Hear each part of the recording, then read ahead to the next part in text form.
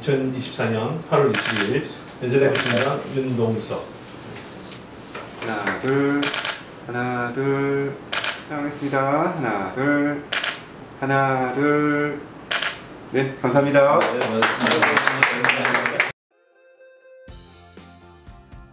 어, 저는 94년도에 입학한 의학과 양용술이라고 하고요. 네, 지금 현재는 부평에서 인천 부평에서 부평 세린병원을 운영하고 있습니다.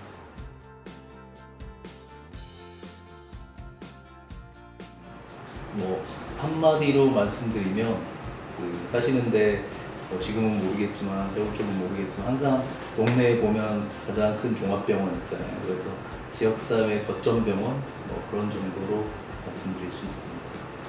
지금은 이제 50분 정도 근무하고 계시고요. 음, 이렇게 지역사회 종합병원으로서 한 40년 정도 어, 쭉한 자리에서 유지하고 있습니다.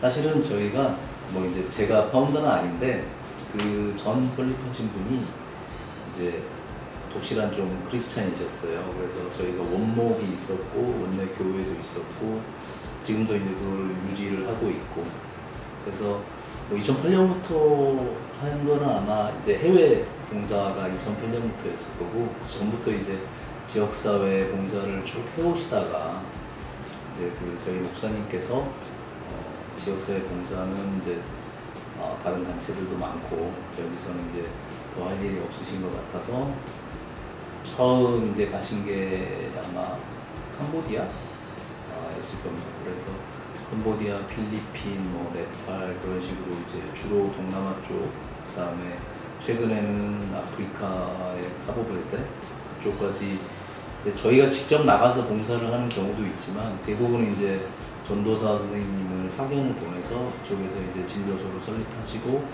저희가 나가서 이제 의료 봉사도 하고 가서 이제 재정적인 지원도 해드리고 뭐 그런 식으로 봉사를 쭉 하고 있고요. 아마도 좀 전통처럼 그게 코로나 전까지는 계속 이어져 왔는데 최근에는 이제 직접 가서 봉사를 하는 거는 좀 코로나 이후로 어, 어려워져서 지금 쉬고는 있는데 아마 전통이 다시 되살아날 걸로 생각하고 있습니다.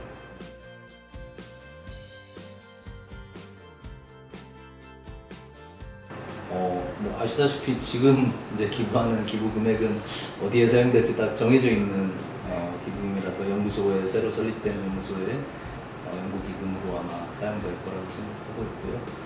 김현철 교수님이 하시는 연구에 제가 또 각별히 관심이 있는 주제라서 네, 그래서 이번에 기부를 하게 됐습니다.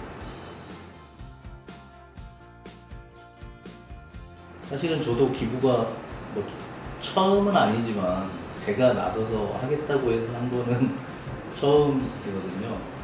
근데 그게 뭐 돈이 있고 없고나 어, 시간적인 여유나 그런 걸 떠나서 기회가 그렇게 많지는 않은 것 같아요. 자기가 이렇게 나서서 할 수 있는 기회가 찾아서 어, 할수 있는 마음이 있지 않으면 힘든 것 같아서 제가 한 가지 이제 말씀드리고 싶은 거는 어쨌든 기회가 있을 때 빨리 시작하면 네, 그게 한두 번 하다 보면 또 어, 본인이 느낄 수 있는 그런 뿌듯함이나 어, 그런 보람이나 그런 것들을 한번 맛보면 또 앞으로도 어, 계속 기회가 그때까지는 안 보이던 기회가 계속 보일 거라고 생각합니다.